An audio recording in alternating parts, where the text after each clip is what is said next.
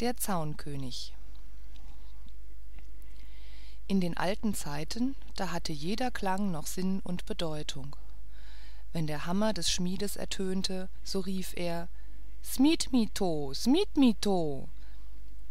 Wenn der hobel des tischlers schnarrte so sprach er dor häst dor dor häst fing das räderwerk der mühle an zu klappern so sprach es help herrgott help herrgott und war der müller ein betrüger und ließ die mühle an so sprach sie hochdeutsch und fragte erst langsam wer ist da wer ist da?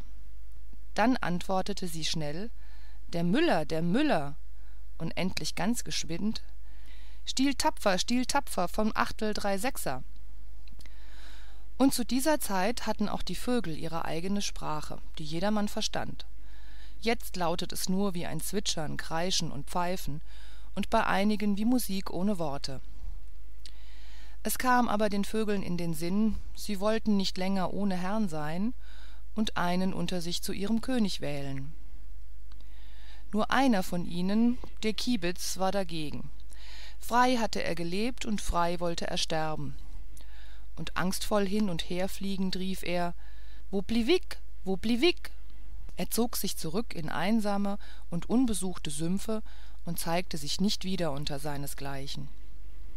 Die vögel wollten sich nun über die sache besprechen und an einem schönen maienmorgen kamen sie alle aus wäldern und feldern zusammen. Adler und buchfink eule und krähe lerche und sperling was soll ich sie alle nennen? Selbst der kuckuck kam und der wiedehopf sein küster der so heißt weil er sich immer ein paar tage früher hören lässt auch ein ganz kleiner vogel der noch keinen namen hatte mischte sich unter die schar. Das huhn das zufällig von der ganzen sache nichts gehört hatte verwunderte sich über die große versammlung. Wat wat wat is denn dorte dorn wat wat wat is denn date dorn gackerte es. Aber der hahn beruhigte seine liebe henne und sagte lutherig lüt erzählte ihr auch was sie vorhätten. Es ward aber beschlossen dass der könig sein sollte der am höchsten fliegen könnte. Ein laubfrosch der im gebüsch saß rief als er das hörte warnend nat nat nat nat nat nat weil er meinte es würden deshalb viele tränen vergossen werden. Die krähe aber sagte quak ok es sollte alles friedlich abgehen. Es ward nun beschlossen sie wollten gleich an diesem schönen morgen aufsteigen damit niemand hinterher sagen könnte ich wäre wohl noch höher geflogen aber der abend kam da konnte ich nicht mehr. Auf ein gegebenes zeichen erhob sich also die ganze schar in die lüfte. Der staub stieg da von dem felde auf. Es war ein gewaltiges sausen und brausen und fittichschlagen und es sah aus als wenn eine schwarze wolke dahinzöge die kleineren vögel aber blieben bald zurück. Sie konnten nicht weiter und fielen wieder auf die erde die größern hielten's länger aus aber keiner konnte es dem adler gleich tun. Der stieg so hoch dass er der sonne hätte die augen aushacken können. Und als er sah dass die anderen nicht zu ihm heraufkommen konnten so dachte er was willst du noch höher fliegen? Du bist doch der könig. Und fing an sich wieder herabzulassen. Die vögel unter ihm riefen ihm alle gleich zu du musst unser könig sein. Keiner ist höher geflogen als du ausgenommen ich rief der kleine kerl ohne namen der sich in den brustfedern des adlers verkrochen hatte. Und da er nicht müde war so stieg er auf und stieg so hoch dass er gott auf seinem stuhl konnte sitzen sehen. Als er aber so weit gekommen war legte er seine flügel zusammen sank herab und rief unten mit seiner feinen durchdringenden stimme könig bin ick könig bin ick du unser könig schrien die vögel zornig. Durch ränke und listen hast du es dahin gebracht. Sie machten eine andere bedingung. Der sollte ihr könig sein der am tiefsten in die erde fallen könnte. Wie klatschte da die gans mit ihrer breiten brust wieder auf das land? Wie scharrte der hahn schnell ein loch? Die ente kam am schlimmsten weg. Sie sprang in einen graben verrenkte sich aber die beine und watschelte fort zum hohen teich mit dem ausruf bracherwerk bracherwerk.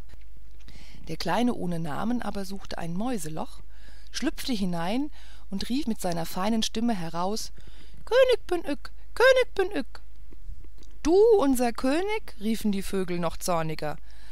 Meinst du deine list sollte gelten? Sie beschlossen ihn in seinem loch gefangen zu halten und auszuhungern die eule ward als wache davor gestellt. Sie sollte den schelm nicht herauslassen so lieb ihr das leben wäre.